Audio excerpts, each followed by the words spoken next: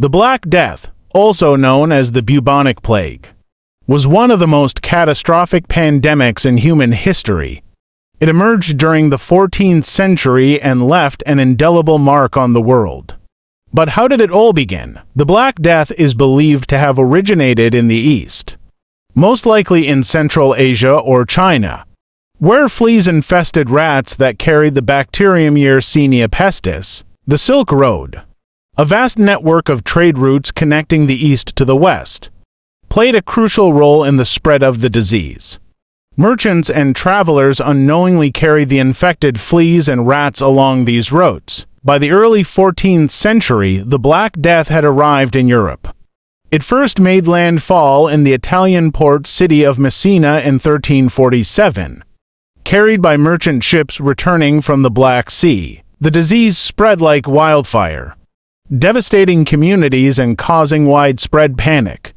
It's estimated that one third of Europe's population perished during this pandemic. The Black Death had a profound impact on medieval society. Entire communities were decimated, labor shortages occurred, and the feudal system began to crumble. Amid the tragedy, there were scientific advancements. Scholars like Ibn al-Khatib in Islamic Spain began studying the disease, paving the way for future medical breakthroughs. In conclusion, the Black Death, with its origins in Asia and its rapid spread through trade routes, forever altered the course of history.